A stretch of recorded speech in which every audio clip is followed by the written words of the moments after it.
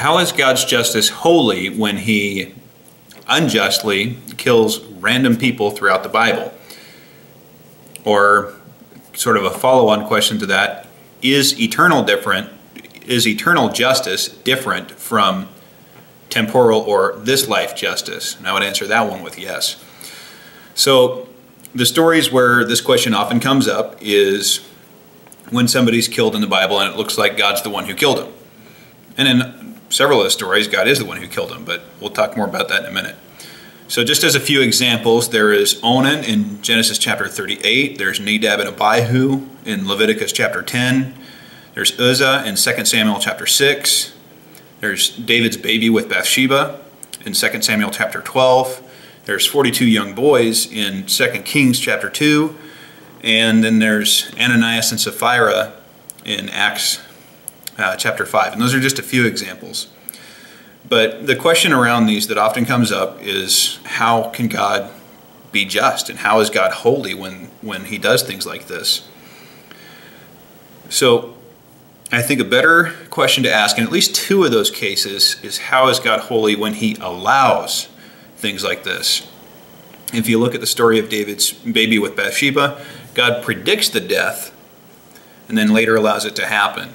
If you look, look at the 42 young boys in 2 Kings, they were harassing one of God's prophets.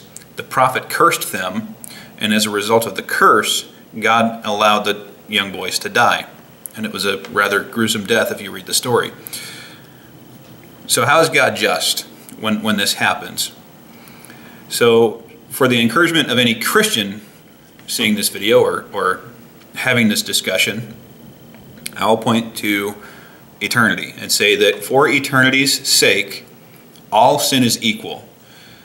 This won't do you any good if you're having an apologetics conversation with an atheist, uh, but for a Christian, this, this should be encouraging. We need to remember that for eternity's sake, all sin is equal, and a bully is the same as a slanderer, a slanderer is the same as a rapist, a rapist is the same as a murderer, and a murderer is the same as somebody who commits genocide. They're all equal for eternity's sake. And because God is holy and cannot tolerate sin, he is just, and his justice is holy when he punishes sin with eternity in hell. Of course, the exception is if you believe that Jesus Christ paid that penalty for you as a substitute for you, then you get out of that and you, as a believer in Jesus Christ, then go to heaven instead of to hell. This won't do any good if you're talking to an atheist because most atheists don't believe that there's an afterlife. But for Christians, that, that point can be comforting.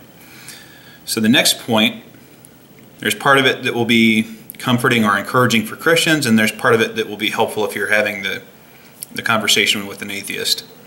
So temporal justice, or this life justice, is different from eternal justice because in this life, the harm that's caused by some sin is different and possibly worse than the harm that is caused by other sin. So, for this life, on this side of eternity, not all sin is equal.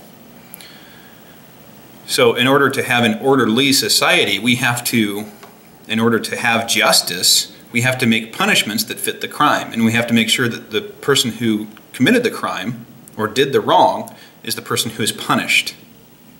So, when we're thinking of justice in this sense, how can we say that God is just? First way that I would answer that question is to say that no one but Jesus has ever actually been innocent.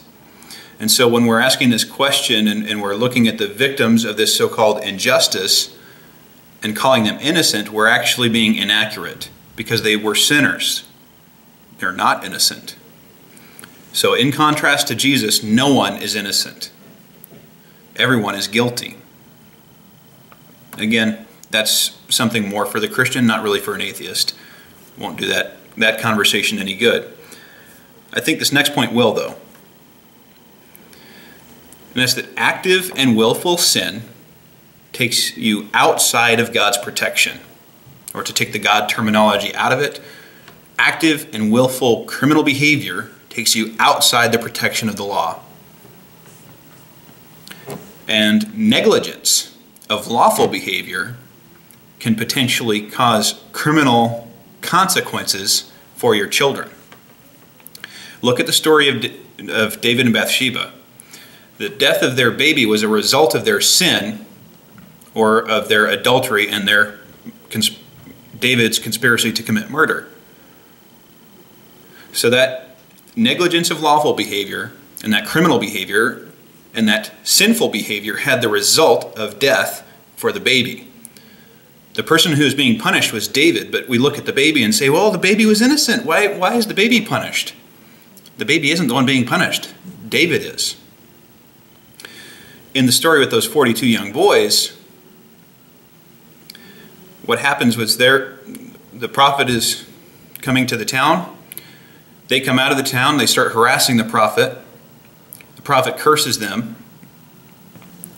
And then some bears come out of the woods and maul these boys. Are the boys the ones being punished, or are their parents the ones being punished? Is the greater society the one being punished? The role of the prophet was to act as if he were a prosecuting attorney against Israel, bringing out and pointing out Israel's sin against God. And if you read the, the whole of Kings, both 1st and 2nd Kings, you'll find that this particular season of Israel's history was not a very holy season. It was a very sinful season. So, in, in my opinion, it wasn't the, those boys that were being punished, it was their parents and the society as a whole. And you can, you can look even today and you can sociologically see this playing itself out with street gangs. There is negligence, there's parental negligence, there's the criminal behavior, the violence, the deaths that are all associated with the street gangs, and then when those boys become parents, there's more parental negligence, and it's a cycle that really feeds itself. This was what was going on in Israel at the time when those 42 young boys were killed. They were functioning as a street gang, harassing the prophet. So when we look at at that story and we ask the question, how is God just for allowing that?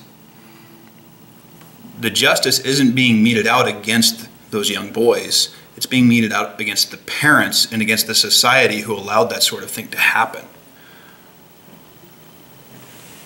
And if that doesn't answer your question, if that doesn't satisfy the objections that you have to that, the, the death of these young boys or of David's baby, then I have to say, well, ultimately, we, we don't know the mind of God. Scripture is pretty clear on that. God's ways are higher than ours, they are different than ours.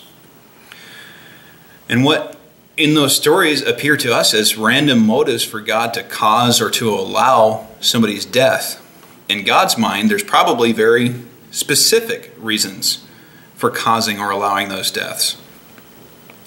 We know that in all things God works for his own glory, not because he's a narcissist, because, but because he is God. A narcissist thinks they deserve some kind of glory because they think they've met some kind of standard. That's arrogance because that standard hasn't actually been met by someone who is narcissistic. God has met that standard, and it's okay for him to work for his own glory.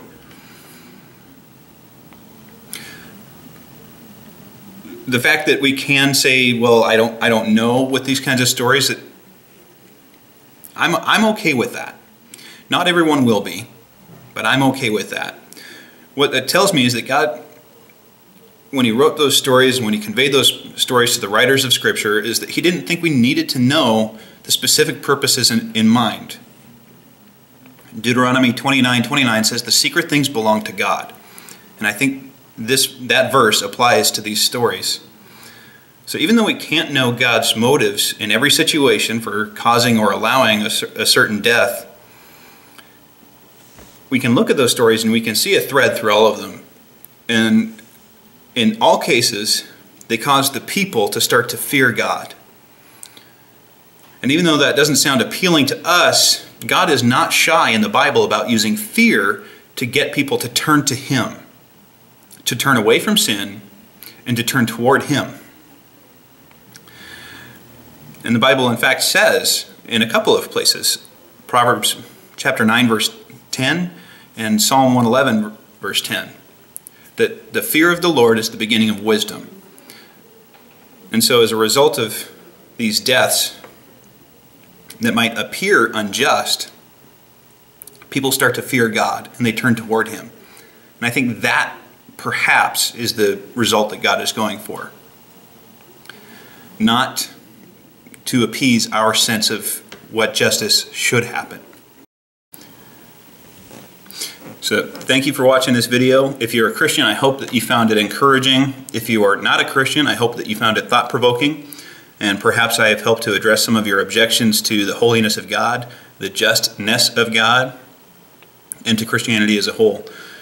Um, if you want to contact me or ask me another question, my contact info should be below the video here on YouTube, or you can go to my church's website. My contact info will be posted there as well. Thank you. Have a great day.